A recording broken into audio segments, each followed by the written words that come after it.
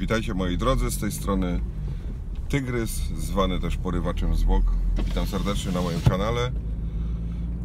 Jest to drugi autovlog dotyczący pytania, które zamieścił yy, osobnik reprezentujący nick Retro Maszyna.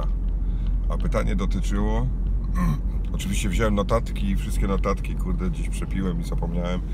W każdym razie dotyczyło tego, co mnie tak naprawdę inspiruje yy, w vlogach. Oraz druga część pytania dotyczyła, jak widzę przyszłość yy, retro i tego wszystkiego. No to może zacznijmy od początku.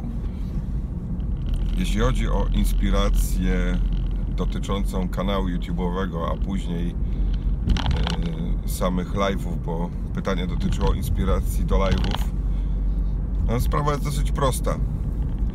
Otóż ponad dwa lata temu yy, byłem zapatrzony w kanały yy, SSG oraz yy, Retrogralnia. Na tych dwóch kanałach znajdowałem dużo fajnych maszyn, bo pojawiły się tam Atarynki, pojawiły się Amigi, pojawiły się też Commodore No i cały czas gdzieś tam w tym, wokół tego tematu krążyłem. Oglądałem ich filmy, bardzo mi się to podobało.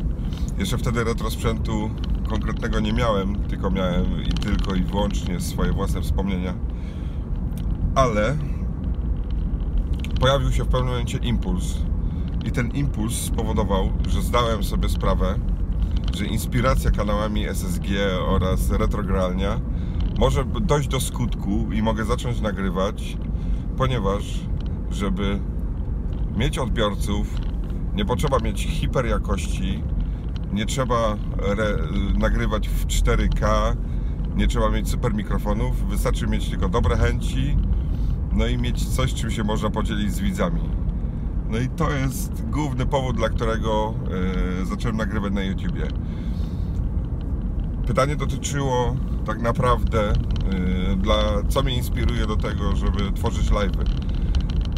Do live'ów inspirujecie mnie wy, widzowie, nie? bo to wy pojawiacie się i to z wami mogę porozmawiać. Najbardziej lubię te live'y, które są spokojne, na których nie dzieje się za dużo, jeśli chodzi o gry, czyli w sumie te live'y, na których instaluję jakiś software, yy, bawię się jakimś hardwarem, ponieważ mam dostatecznie czasu na to, żeby z Wami wszystkimi porozmawiać, żeby Wam podpowiadać na wszystkie pytania. Moją inspiracją tak naprawdę jesteście Wy, nie? to jest główny powód. Cały czas od początku, jako taka osoba, która lubi być w centrum uwagi, yy, cały czas od początku zdawałem sobie sprawę, że jak tylko pojawią się możliwości live'owania na moim kanale, to będę chciał z nich korzystać. Oczywiście na przeszkodzie stała jakość mojego łącza, co zresztą widać na moich niektórych live'ach. Po tym jak troszeczkę pakiet internetu się zwiększył, no to live'y się po prostu pojawiły i mogę sobie teraz ze spokojem kilka live'ów w miesiącu robić. Druga część yy, pytania dotyczyła tego, jak widzę przyszłość retro yy, tu w moim, jakie są moje marzenia,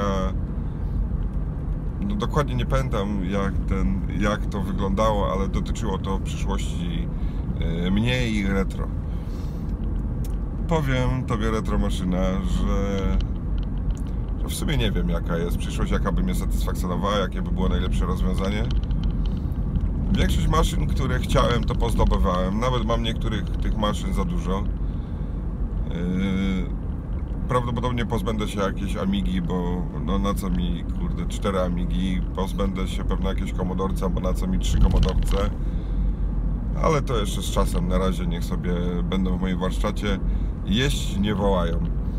Yy, przyszłość? No kurczę, chciałbym no jeszcze trochę sprzętu chciałbym zdobyć, nie? Bo Apple 1 chciałbym zdobyć yy, czy dwójkę, czyli na yy, procesorze MOS 6502 który bardzo ten, który bardzo cenię ten procesor zresztą zrobiłem zrobiłem podcast dotyczący tego procesora i jeżeli ktoś ma ochotę słuchać podcastów to na iTunesie oraz na spry, Spreakerze Spreaker, tak, wrzucę link później tam pod spodem. Yy, Będę wrzucał swoje podcasty i będę opowiadał o różnych rzeczach dotyczących retro, nic wcale jakiegoś takiego odkrywczego, raczej będę kopiował wiedzę innych, ale tylko dlatego, żeby można było ze spokojem sobie jej posłuchać w samochodzie, czy w czasie jakiegoś tam joggingu, czy, czy wędrówki, czy cokolwiek. Y, czy jeszcze chciałbym jakiś sprzęt zdobyć? W sumie jestem napełniony większości sprzętów. Chciałbym y, zdobyć teraz jakiegoś Pegasusa z serii y, siódemek czy 502 dlatego, że tam też znalazł się procesor MOS 6502 i chciałbym mieć taką maszynę właśnie z tym procesorem.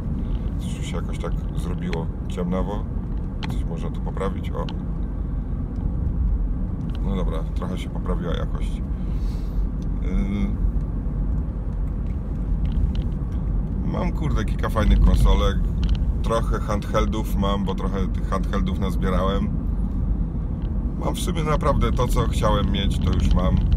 Mam Atarynkę, mam Spektrusia, którego jeszcze nie ruszyłem, a szkoda, bo na razie zdobywam osprzęt do niego. Jakoś mi to opornie idzie.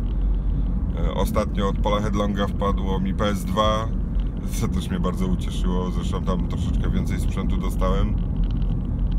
No zobaczymy, co z tego, tam, co z tego będzie. Na razie jakoś ta, jakichś takich konkretnych planów na przyszłość nie mam i nie zamierzam ten, nie zamierzam je jakoś w konkretny sposób e, kanalizować. Jedynym minusem jest to, że zbliża się wiosna i możliwe, że filmy będą się pojawiać z mniejszą częstotliwością. Co nie znaczy, że nie będą się pojawiać, na pewno będą się pojawiać, tylko z mniejszą częstotliwością. Jak to wiosna, trzeba mieć troszkę yy, czasu na to, żeby zająć się różnymi sprawami niezwiązanymi z komputerami. No, trzeba wyjść z domu. Mieszkam w puszczy i, i kurde, tam jest dużo fajnych rzeczy. Zajmuję się rekonstrukcją wczesnośredniowieczną, więc tam też muszę się pojawiać na imprezach, co mnie bardzo kręci. Lubię się lać i lubię yy, spożywać w dobrym towarzystwie alkohol, więc yy, na pewno nie będę odpuszczał imprez rekonstrukcyjnych. No co? Krótki ten autovlog, ponieważ pytanie było jedno, może podwójne, ale było jedno. Mam nadzieję, że nic nie pominąłem z tego pytania.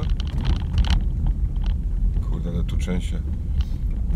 Yy, W każdym razie zapraszam Was na, ten, na podcasty.